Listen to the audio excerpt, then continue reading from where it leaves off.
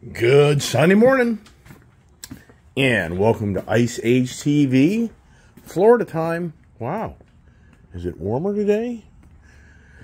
No, actually, uh, it's still a little cool up here, but not too bad. But definitely a light jacket for sure. Kind of with my t-shirt, but you still kind of need a light jacket. Kind of a cool day. But hey, welcome to Ice Age TV, the internal combustion engine age conversations of cars, trucks boats, RVs, uh, everything off topic.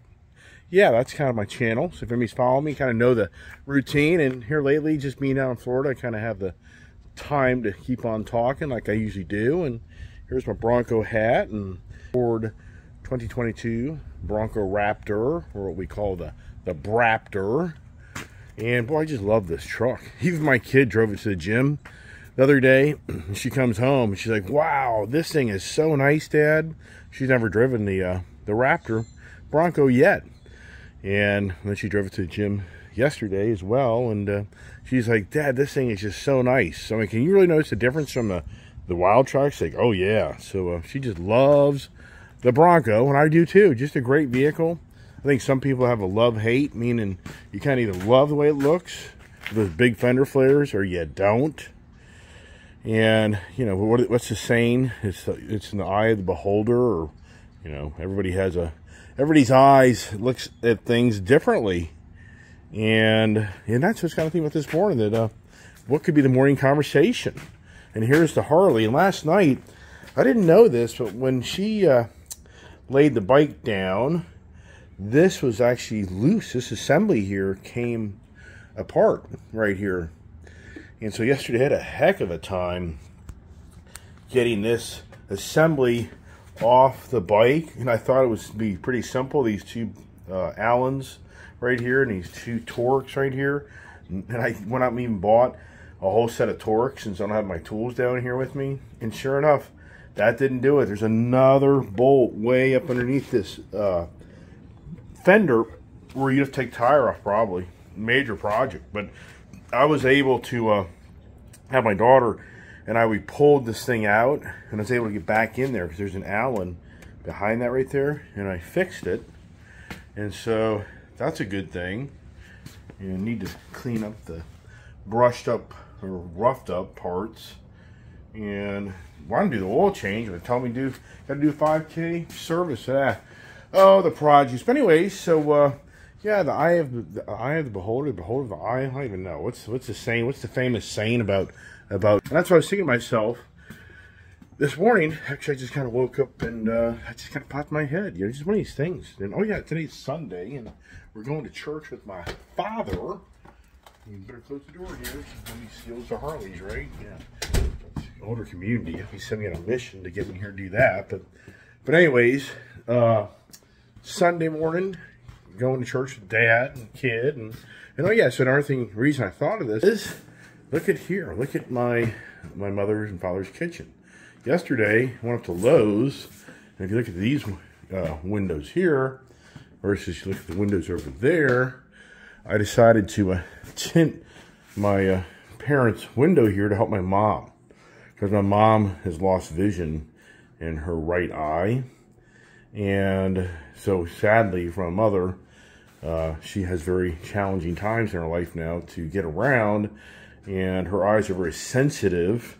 So I'm trying to help my mother out any way I can. So she's going to put curtains up here, which it may go that direction. But I thought the window tint would take down the glare in the room. So I'm kind of hoping that helps her eyes.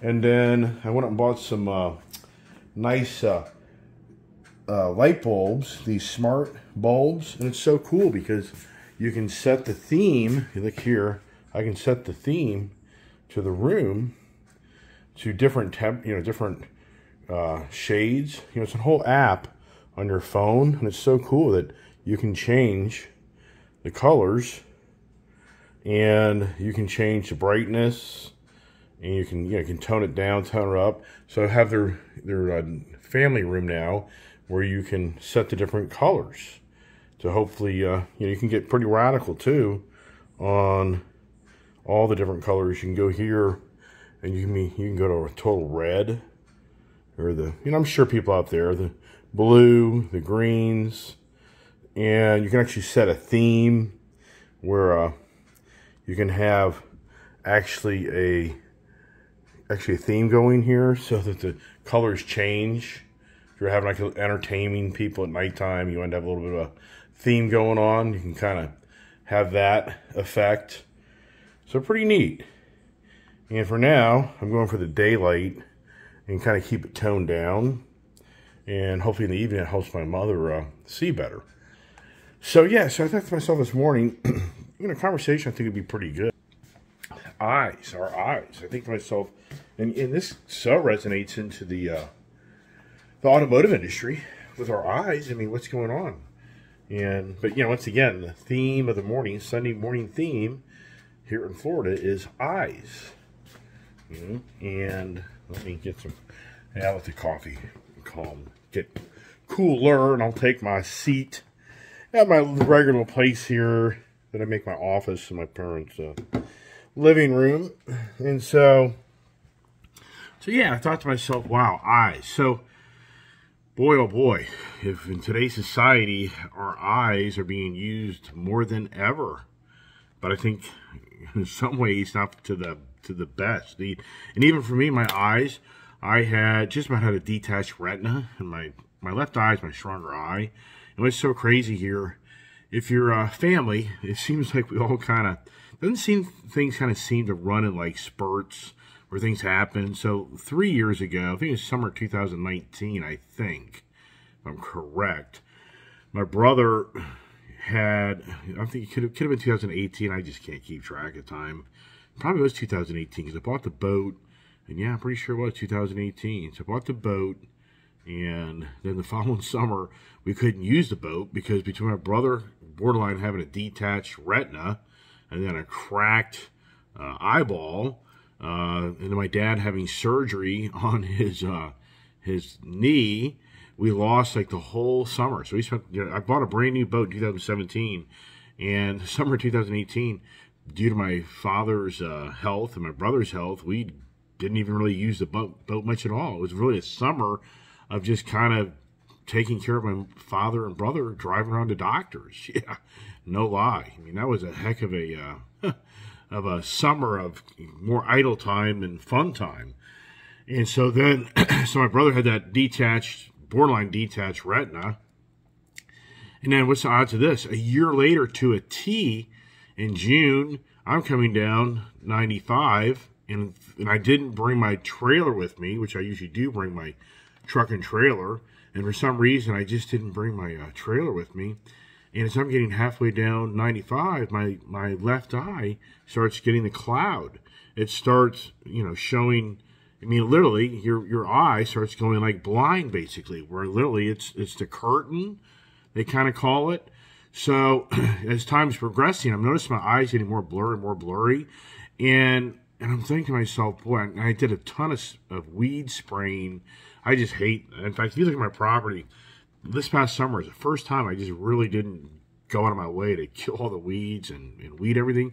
I just think those weed sprays, and for me, I got a lot of property, so I've got a tank, I got a sprayer, I go around my four wheeler, or I walk around a backpack, and I'm spraying the property all over the place. And I did heavy spraying the day before we left, and I could actually feel my eyes like burning. I mean, I could literally feel that stuff was getting into my eyes, which is so dangerous. It's just bad. It's just nasty stuff. People know the stories of people that die from this weed, you know, the Roundup. There's major billion dollar lawsuit against some of that stuff. So anyway, so I just started thinking possibly my my eye had my eyes had been you know harmed, and so now I'm looking for a truck stop to rinse out my eyes to find a, a dispenser. If you didn't know anything about a shop, by law you have to have you know the first aid uh, eye wash. I bought this truck stop.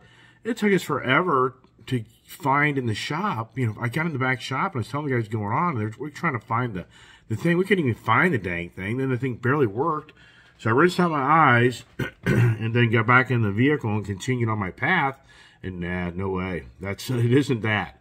It's something else. So the whole point is, what's the odds of me like a year later, a year later, the summer of 2019, I now have a uh, ruptured retina and and now I don't have good vision, and now I'm going to be down here in Florida. And if you know anything about, you know, having a detached retina, you start going boating or motorcycling or you're bouncing up and down, you have a higher risk of you detaching your retina. And then if you're not careful, you'll go blind you have to get to emergency room and have it reattached.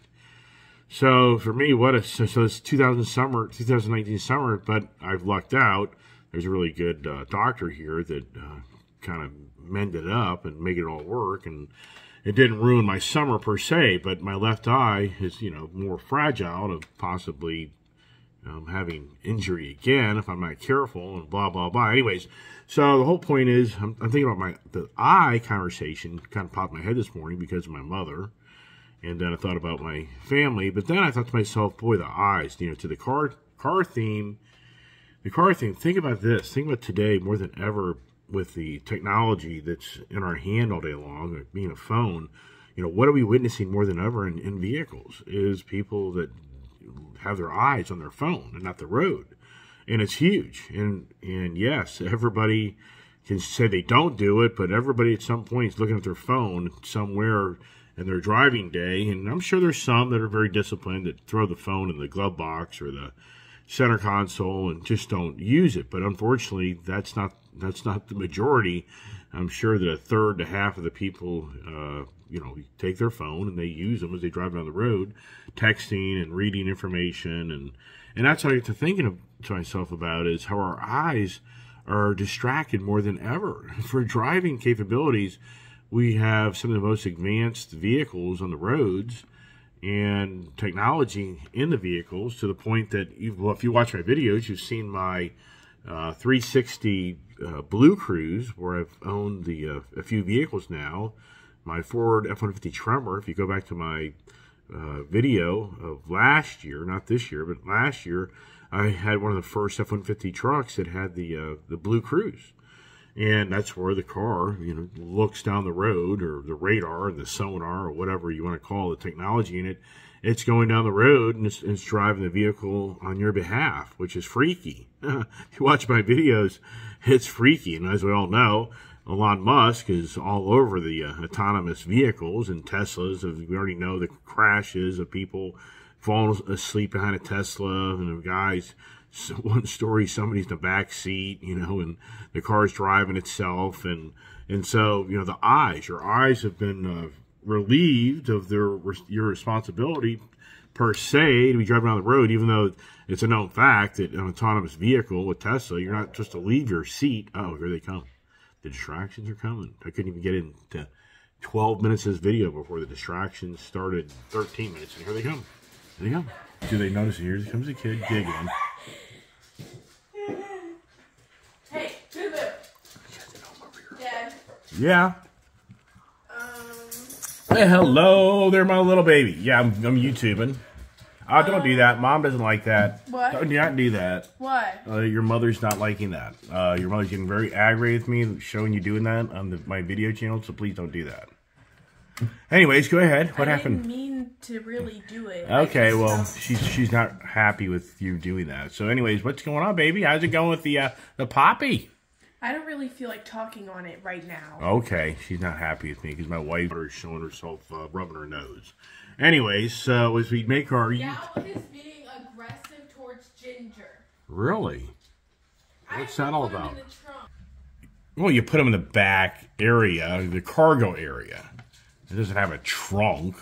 Well, what's going on with Scout? Is he not getting aggressive. is he not getting enough loving from you? Are you giving too much attention to popcorn? Come here. Julia, Julia talked me into ordering a hot blonde. Yeah, we all know what that means. If you're you ordered a hot blonde coffee, but my dad's trying to resonate on his church morning, the elder of the church, that he's he's ordering blondes for you know his fun time. Yeah. Anyway, so there, yeah, the eyes, right? What, what's it about the blondes, right? Hey, the blondies out there get a lot of the eye attention, don't they? You brunettes, yeah, we know these stories, right?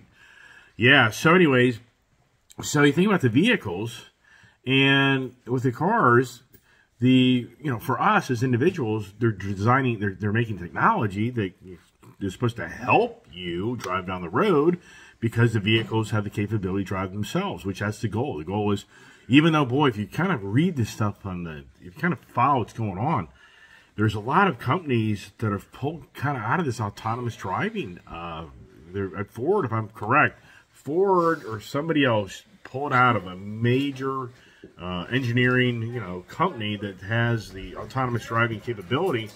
And I think a lot of these big companies are kind of stepping back as they're, they're starting to see the liability. I mean, think this through.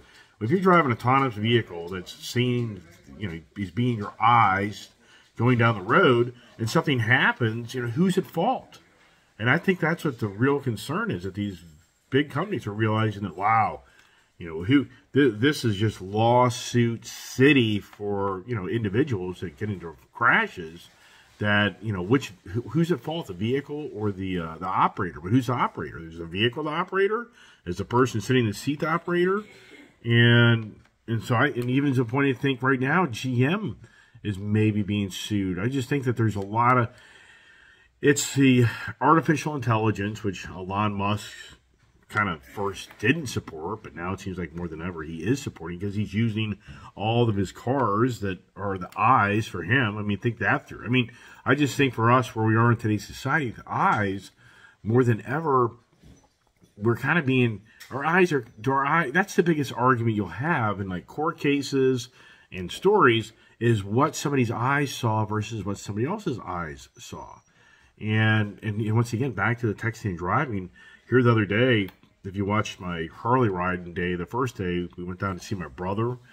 My here's a perfect example even for me. Just here this past last week is we went down to Chick Fil A in in your Indian Rocks, Florida, Indian Beach, Florida, and as we get off our bikes and walk across the parking lot, my daughter's yelling at me because there's a lady in the drive-through that has gotten her order, but she's on her phone and she's distracted, but she's not looking of, her, of where she's going and she's pulling away. And apparently, for my daughter, you know, her position is as I'm walking across the parking lot, unbeknownst to me, this vehicle is coming up on me to run to hit me. And my daughter's screaming that I think caught this lady's attention at the last second that was looking at her phone instead of looking where she's driving. I mean, how many times do we hear this story of people that do no longer pay attention to the road and are paying attention to their phone and they're and they're in a car crash and they kill somebody? I mean, there's just horrendous stories. I can tell you a story just my own neighborhood. Like ten years ago, there was a lawyer that was on his phone and he came up to a intersection in a suburban neighborhood and a lady was there with her uh, baby stroller and she's going through the intersection. He runs them over because he was on his phone uh, texting or distracted whatever. I mean, he's he's gone to jail. I mean here's a guy that's uh, a lawyer that you know has lost his it's 10 years now so it, it may be it's within the 10 year reason. If he may be out of jail by, by now, but sadly, here's a woman that lost her newborn because a man was, you know, you but you hear these stories all the time. So it's the eyes, or more than ever, we're what is what is going on with our eyes? That's kind of the reason I wanted to make this channel this morning, is because, or just make this video this morning, is because I feel strongly that more than ever, what are we seeing with our eyes? And as we all know, we more than ever are looking at this device that's in my hand. That's that's where your eyes are more than ever, and and it's being used. You know, sadly, it's being used on the negative side to manipulate people, to make people think uh, one way that isn't actually factual that it's that way, but but yet it's being used as a tool to persuade people to believe on how things that they're looking at are correct or factual, and, and, but in essence they're not. And got the kid here walking around. It's at the, the morning entertainment. You see these two? You see these two? Yeah, they get the eyes in each other. Yeah, my daughter loves just to watch my father his antics when he. Yeah, well, talking about eyes, my father. Here you go. See, this is the morning. This is the morning. You know, the kids watching my dad. She's watching my dad, and then my dad's, you know, doing his. Uh, his two-step shuffle along, I say. And yeah, so even for my dad, he his license now, due to his age and his eyes, can no longer uh, drive uh, drive at nighttime. they have the running joke in Florida is if you're a widowed lady that's older, find a man that can take you out to dinner.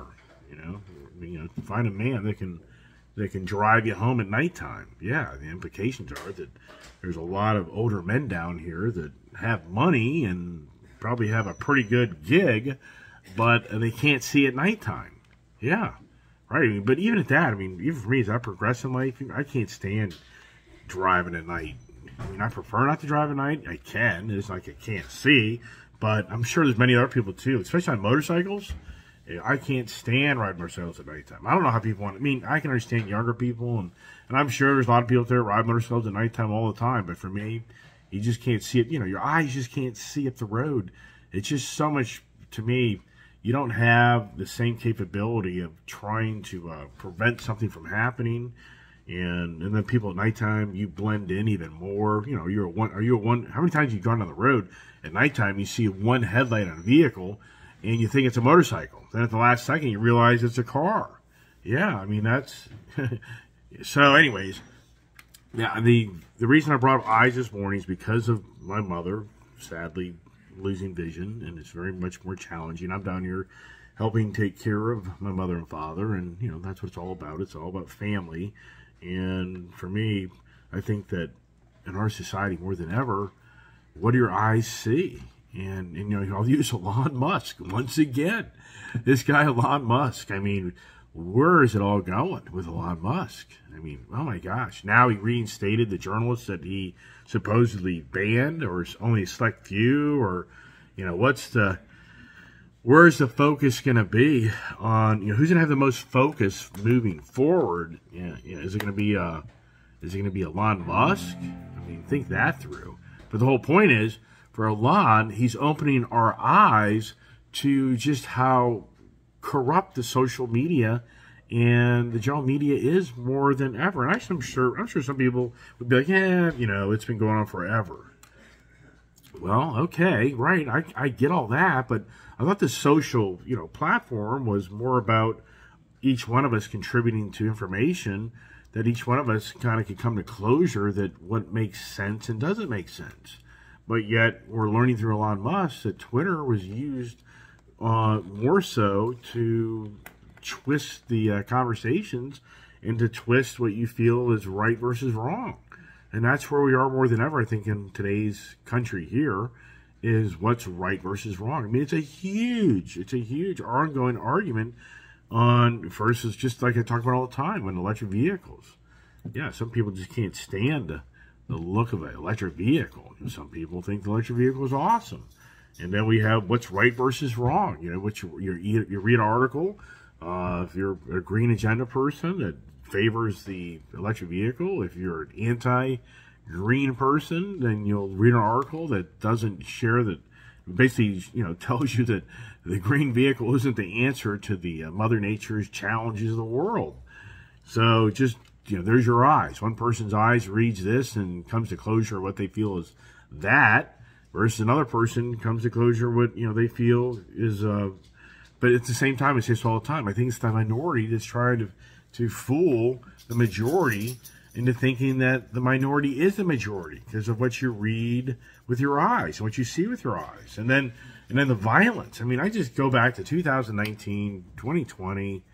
It just seems like the ratchet of violence, what you witnessed on TV. I mean, does anybody remember the violence in the streets? Does anybody remember that? I mean, does anybody just really, who wants to remember? Does anybody just remember the hate beyond hate? The tearing down the statues? The just all out rioting in the streets because of what one person thinks right versus what another person says is wrong. And it's still ongoing. But the media machine, in my opinion, has ratcheted it down because they have the right individuals in sitting in the office right now that they want to continue to use them to continue to progress the agendas that the minorities want, but the majorities don't. So I truly believe more than ever we're right now, current in times today, that the media machine is playing to the uh, the sitting administration's policies, and they don't want to ratchet up the uh, the hate factor in the protests because it'll make people then think that this administration needs to go away, like the former one need to go away. And there's a lot more to it than that. But at the same time, I think they're trying to keep things calm because they want to in so many words, say that they had the country at peace, and everybody's just, you know, happy as can be, and nobody's out in the streets and rioting and blah, blah, blah. But I tell you what, I was just thinking myself this morning as well, you know, what you see with your eyes, that, you know, with the fentanyl drug overdoses, I mean, you just have to think that the underlying goal is to just eliminate the younger the younger people of this country. It's very sad that I think that I just think that what's going on is that you have to ask yourself: Is the fentanyl use going down? It's not. Are the deaths increasing? Yes. Are the inner cities deaths going down? They're not. Are they going up? Yes. It's like the, it's like somebody is has a has a masterminding the way to just terminate the younger population and to extinguish a certain uh, you know uh, color of our country. I mean, I say this all the time to people. It's like the the difference. If you think about the the influx of the people that are coming to our country and how it's changing. Look, just look with your eyes. You see the diversity of our country more than ever. It, you know, you go 50 to 100 years from now. Am I the majority? Is my, you know, my the way I look? I mean, I don't think so. I think next 50 years, it's going to be a much more, much stronger mix than what who I am. Could be wrong, but we have a huge influx of uh, you know, immigrants come to this country, and who's, but who's getting further ahead and who's not and you know that could become to some people become racial and everything else which i have no desire to go down that road. That's not who i am and but the point is what do we witness with our eyes? And to me what we're witnessing with our eyes is we're seeing the killing and death go up. It's not going down. And how do we stop that? I mean how do we change direction? How does this country you know what is what are people reading? What's driving people? Why do people you know resort to that as a lifestyle for the the, the, the crime and the hate and the death and the and the drug abuse and the list goes on and on and on. You know, what's driving that? I mean, what here we have the most technology in our in our life. You have uh, your eyes to pick up a device and get a lot of information, and yet it just seems that it's actually making things worse. Just like the driving, driving cars. I mean, it would be great to see the information statistics of the amount of vehicle accidents today, they're all related to devices. And you know as well as I do, people are going to deny, deny, deny that you know that that phone was in their hand, and that's what created the accident. That's what I think about. When I was, you know, you go so many years ago, you're in a car and just coming up to an intersection, you didn't have a device to look at in your hand. And the reason I bring that up is I think to myself so many times, you come up to like a four-way major intersection, and who doesn't just kind of start looking around and seeing what the variables are, what's going to play out? And you see the different cars, the different positions of vehicles, you see the pedestrians. There's so much going on. But yet, more than ever, people are sitting there looking at their phone, reading their email, reading an article, watching maybe a, a video. Who knows what they're doing per se? but they're not in real time in their environment behind the wheel of the car to be cognizant of what else is around them that could possibly play out that they're not they're not paying attention.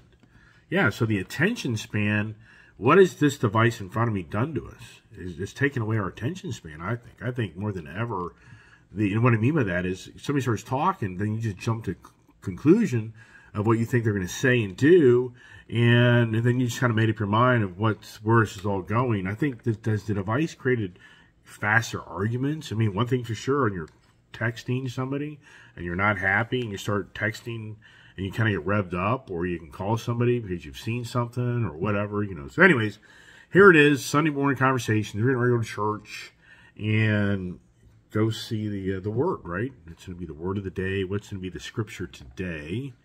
When next Sunday from next think about this next week, if you're a, you know a religious person, next Sunday is a big day. If you if you look at that being the day, of uh, Jesus, then you're going to believe that next Sunday is a big day. Big day, not only for the big gifts, but for a a, a miracle happen. I always say, pray for a miracle.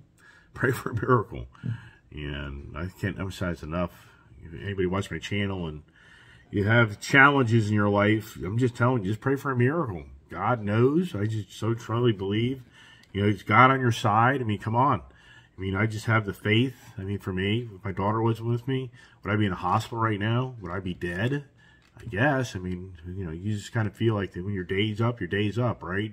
If you're a godly person or just kind of kind of get that language, you understand that big time. So, uh, what you see with your eyes, right? So it was an eyes conversation. Just came out of another morning where I just woke up, woke up and thought eyes, and that's what I did, just to kind of keep the YouTube channel going. And here's the thing, which even for me, do I hit a milestone of 500? And you know, a while back, I'd have been like, do I hit a milestone of 500 subscribers? And hey, all my subscribers and people watch, thank you. Appreciate you guys supporting me. I really do. I mean, I don't, I mean, but I'm not, you know, if, if anyone watches my video, you don't see all these lengthy, you know, the big, the big shebang to go in, you know, the introduction. And then I have a constant thing in front of me. Hit the like button, hit the like button right here, hit the like button, and then hit subscribe right there. I mean, I just don't do it. I just don't. I'm having fun. I enjoy talking, as you can tell. I enjoy hopefully giving others ideas conversations to talk about instead of arguing with somebody. Maybe you can just talk about something. And, hey, that's kind of a different angle. I didn't think of that. What do you think of that idea? Just you know, we all like to talk. I mean, that's how that's how I am. Because when you start talking to somebody, just other things come from those conversations, which that's what's so cool. That's why I like to talk. I'm a talker, and so. So, anyways, my milestone will be I may be at 500 videos. Oh my gosh, I'm going to be like 492 videos today. I think. So for the year, to end the year out, uh, you know, some pretty good milestones for me. The car wise, good lord. I mean, the most in my lifetime in one year of how many transactions I've done in one year. Yeah, next year probably how many I've sold in one year. Yeah, that could that could play out as well. You never know with me. If you follow my channel, I'm sure I'd be like, yeah, I could, I can, I can see that that guy could do that. I can do, I can do, can do both sides of the equation. I can bounce back and forth. So, anyways. Appreciate there's the kid sneezing. Yeah, yeah, that's for now. You got to hear my dad sneeze. That's a classic. I can only hope I can get that on video. You'll you'll see how that plays out. My mom laughs still. All right, everybody, thanks for watching my YouTube channel. What are your eyes on today? What makes you, you know, what makes you happy? What are you looking at? What car? I don't know. What's what's the uh yeah, what do I what do I have my eyes on now, right? What baby? Oh yeah. You're congested. You got a cold. No, I don't. No, I don't. I'm not sick. Well, you sound congested. I'm not. I'm not. In denial. I'm not. a child. All right, everybody. Hey, thanks for watching my YouTube channel. Stay safe. Oh, God bless. Stay safe. Stay tuned and follow along for some more ventures.